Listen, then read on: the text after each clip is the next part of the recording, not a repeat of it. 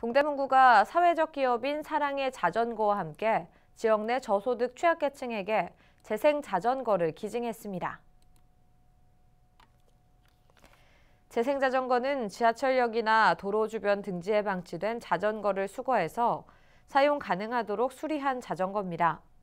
구와 사랑의 자전거는 2015년 방치 자전거 수거 및 재생 자전거 기증 현황을 체결하고 매년 수거한 방치 자전거 중 7%가량을 사랑의 자전거 측에서 수리해 저소득 취약계층 주민에게 전달하고 있는데 현재까지 총 197대의 재생 자전거가 기증됐습니다.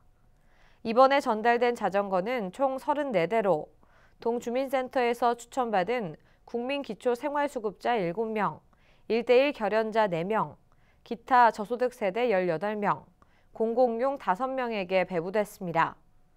재생자전거가 필요한 관내 저소득층 주민은 동주민센터에 신청하면 우선순위에 따라 받을 수 있고 주변에 방치된 자전거가 있을 경우 동대문구청 교통행정과로 신고하면 됩니다.